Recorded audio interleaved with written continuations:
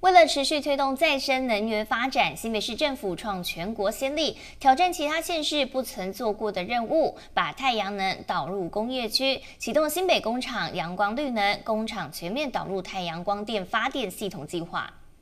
经济部推广太阳光电发电系统的目标量是一百一十四年达到十亿瓦设置容量，并且以沿滩地及地层下陷等作为推动主力。但是新北市辖内并无这一类的大片土地，因此特别以工厂厂房屋顶为主要推动标的。工业区啊，五大工业区啊，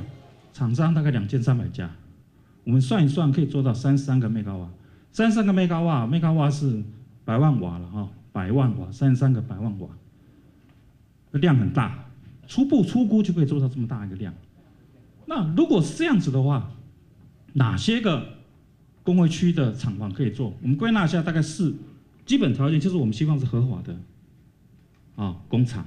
而且它没有遮阴，那平数大概三十平左右就可以了，啊，而且希望这个这个建筑本身，因为到时候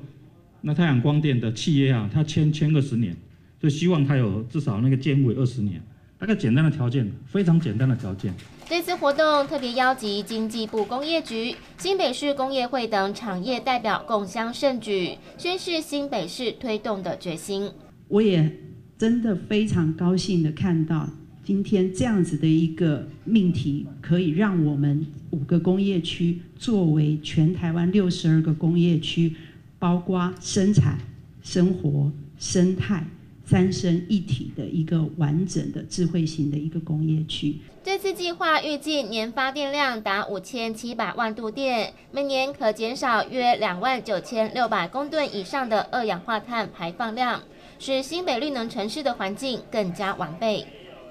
记者方坚凯、林景瑜新北市采访报道。